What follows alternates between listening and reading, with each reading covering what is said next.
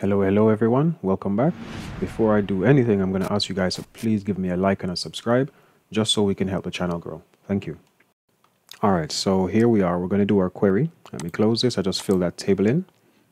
So we go to create.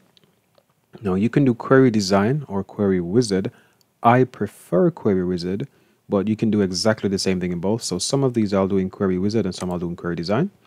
I'm going to choose a single query wizard, simple, sorry. I'm going to choose everything from the customer table. And to do that, I can either click on this arrow one at a time to bring them over, or I can click on the double arrow to bring everything over, or I can double click on each one to bring it over. So I'm just going to double click, sorry, click on the double arrow. It brings everything over. I'm going to go to next. I'm going to go to next again and table customer query uh, we, we can just say all for this one, right? Now, again, when we're naming things, this should be ideally Q, R, Y to stick with the naming conventions, okay?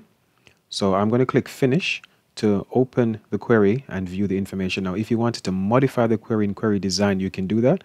But for this one, this is a simple, simple, simple, the most basic query you can ever do.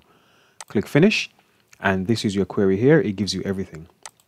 That's it for the first query. So now I'm going to quickly show how to do exactly the same thing, but using query design instead. We're going to go over to create again.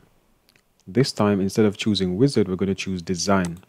This will be shown. And now I only want to add stuff from, I think, I believe it was the customer table. So on the right hand side, you simply add selected tables and you can choose the table you want to add. So for me, I'm going to choose customer table and click on add selected tables it comes up with all the information here. I'm simply going to double click on each of these to add them into the section down here. Oh, let me untick this one. I believe I did that one twice by accident. So let me just untick that one. Now, I'm not going to put anything in for the criteria. I'm going to leave it exactly as it is. I'm going to click run and please make note of the query section here. I'm going to have to save it as well. So when I click run, it should ask me if I want to save and it's going to give me exactly the same results as the first query did, but this is just another way of doing it. There we go.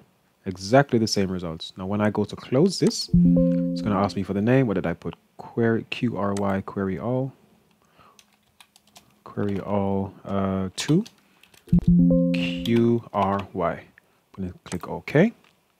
And both these queries are exactly the same thing. Nothing different between them, but they were done in slightly different ways.